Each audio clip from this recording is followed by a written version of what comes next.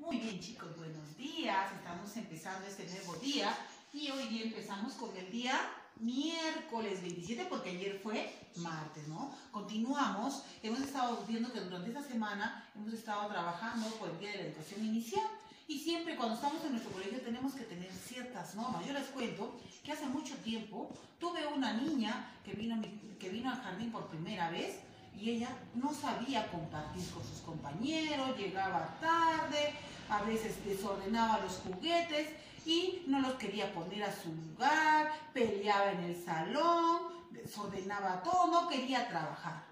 ¿Por qué? Porque ella recién había entrado a nuestro colegio y entonces no sabía nuestras normas que tenemos en el jardín. Por eso hoy día vamos a recordar las normas que debemos tener cuando estamos en nuestra institución educativa y tenemos que cumplirlas. Por ejemplo, la primera norma que tengo que tener es la puntualidad. Mire, van a observar acá. Este niño dice, llega temprano a su jardín. Antes nuestro hora de ingreso era a las 8 de la mañana, pero ahora nuestra, nuestra ha cambiado mucho nuestra enseñanza y entonces estamos entrando a un horario diferente. Ahora nuestra hora de ingreso, por ejemplo, por nuestro Zoom es a las 10 de la mañana. Entonces todos tenemos que llegar puntuales a nuestra videoconferencia que hacemos siempre, ¿no es cierto, chicos? Entonces, luego otra actividad que tenemos que hacer en el colegio es colocar las cosas en su lugar. Quiere decir que hay que ser tanto nuestras loncheras como nuestros nuestros cuadernos, nuestros juguetes. Es, igual en casa. Cuando tú estés trabajando, también tienes que ordenar las cosas que estás utilizando. Si sacaste tus útiles de, escolares, tienes que volverlos a guardar a su lugar, sus cuadernos. No sé, otra es colocar las cosas en su lugar. Otra norma de convivencia que teníamos en nuestro colegio, todos, no todos podíamos hablar a la vez, ¿no?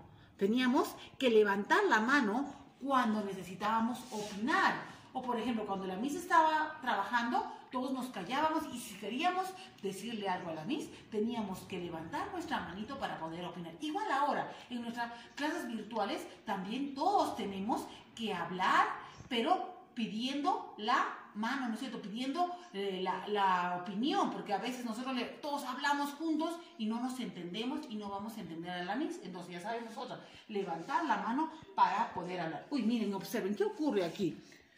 Uy, ahí esos niños están peleando, dicen, no molestar ni pelear con los compañeritos. Acá, por ejemplo, están peleándose por un juguete, acá también están peleándose por algo que a lo mejor se han dicho, ¿no? Entonces hemos dicho, tenemos que respetar a nuestros compañeros, no pelear, compartir, ser solidarios, ser amigos. Por ejemplo, ahora tenemos que ser amigos, no estar peleando, colaborar con tus compañeritos, por ejemplo, ayudarle. A veces cuando nosotros tenemos algo o un pan que nos sobra, podemos darlo a una persona que no que lo necesita, ¿no es cierto? Un compañerito a veces no tiene que comer entonces tú le puedes invitar tu pancito. O también, por ejemplo, tienes tus juguetes, puedes compartir con tus compañeros. Si un compañerito se cae, ¿qué tú vas a hacer? ¿Te vas a burlar de él? No, ¿verdad? Tienes que ayudarlo, levantarlo, a, ver si a veces se ha lastimado, tienes que curarlo, ¿no? Entonces tenemos que ser solidarios con los compañeros y no molestar.